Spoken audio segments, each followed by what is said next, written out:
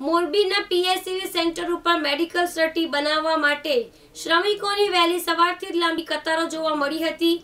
પીએસવી centre નવ વાગે ખુલવાનું હોવા છતાં વતન જવા અધીરા બનેલા શ્રમિકોએ ભારે ઘસારો જોવા મળ્યો હતો.